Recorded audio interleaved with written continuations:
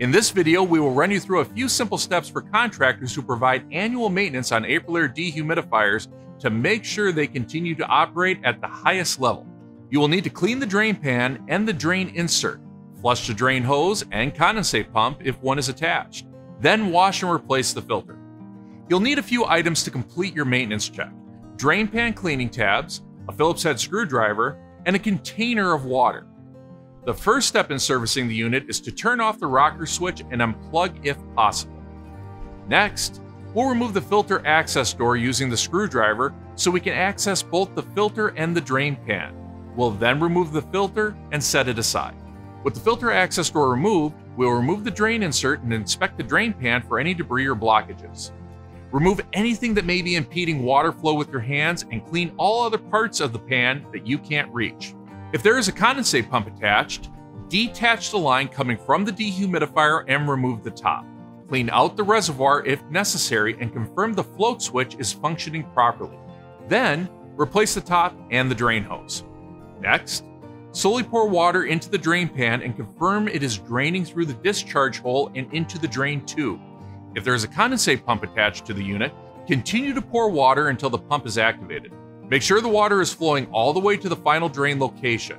If the hose appears to be clogged, you may need to attach a shop vac to the end to pull out those clogs. After you verify water is draining properly, add a few drain pan cleaning tablets to the pan and the condensate pump reservoir if one is attached. This will break down any leftover debris in the pan or pump and will also aid in breaking down any buildup in the line. You can also use bleach or vinegar for this step, but make sure those items are flushed with the remaining water. At this point, you can grab the filter you set aside and either take it outside and spray it off with a hose or use a utility sink to clean it. We suggest having a spare filter in your truck and simply swapping it out with the one already inside the unit to make things a little bit easier. For installs that require a high efficiency filtration, we offer MERV 11 filters with our E Series dehumidifiers. Unlike the filters that come with the units, these cannot be washed and reused, but require periodic replacement.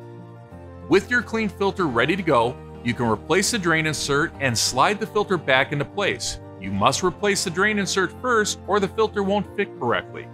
With the filter back in place, you can then screw the filter access door back to the side of the unit. Once that's done, plug the unit back in and turn the rocker switch back to on. Set the unit to the correct relative humidity and let the unit run until the compressor kicks on to ensure everything is working properly. And with that, you're done.